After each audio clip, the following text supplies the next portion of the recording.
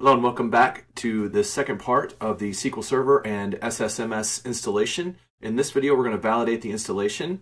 First, we're going to make sure that we can connect to our actual SQL Server using SSMS. And then we're going to do an extra step where we download and restore a copy of the AdventureWorks database and get that up and running on our machine to prove that we're in a state where our database is ready to go for further development in the future. So let's go ahead and get started.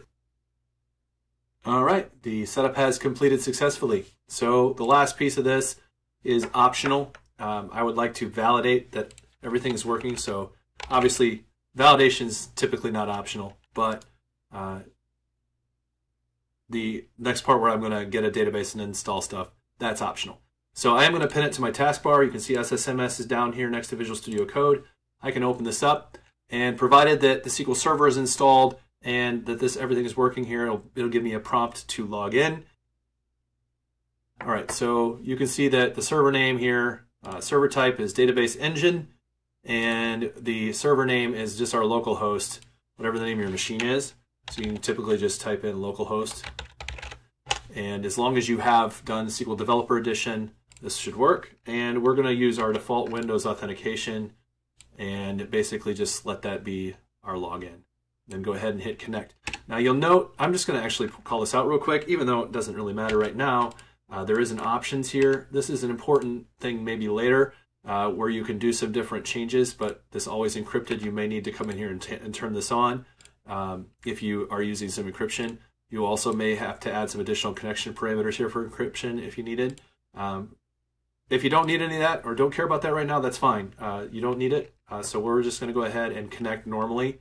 Again, database engine, localhost, Windows authentication, connect. And you see your localhost here, and you see there's no databases other than the master maybe. So if you right click and say new database, you could create a new database here and all of the things. Um, what I'm going to do real quick is just show you how you could install a database to get it working. Um, so what I'm going to do is I'm going to go out and I'm actually going to get AdventureWorks sample database. Now, it really doesn't matter what version of this you get, okay? Um, if unless you have a reason, right? If you get the 1992 version of it, that might be a problem. But as long as you get uh, as long as you get the right a version, whether it's 17, 18, 19, whatever it is, whatever year it is, it doesn't matter here. Um, unless you have a reason, you could get an older version. Um, if you don't have a reason, just get the backup. Now, you'll see there's two or three actually here, but so you have OLTP, which is online transaction processing. This is the full AdventureWorks, so it's a little bigger. This is for data warehousing. We're definitely not doing that today, but you may want that. This one over here is a lightweight. I'm interested in this one a little bit because it's just a really quick install. Depending on what you need, though, if you need this full one for some reasons, there's like a lot more tables, a lot more data in this. And this one is just a really quick way to get started. Either one, you can see they have a different name. Either one's fine. I'm to actually do the full one. Why not? It'll take a little bit longer, but it gives me more stuff you can see that the download is done. Now this is the really tricky part to restore a database. And again, this is optional. So if you don't know what I'm doing here or you don't want to do this, don't do it. Um, but it's a really nice way to see how to do this if you're interested. Right click on my database and say restore database.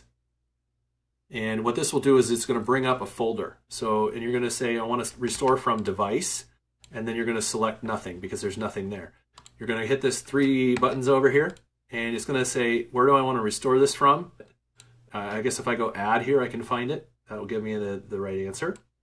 So you see here, that's the full folder. So what I'm actually going to do is I'm going to copy that path. Okay, C program files, Microsoft SQL Server, MS SQL backup, and I'm actually just going to open that in a new window here.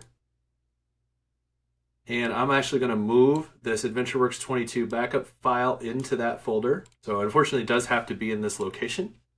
And so now that'll be there. And now if I come back here and I say device and I hit this and I say add, you'll see that AdventureWorks 2022 is there in that backup folder, just like it should be.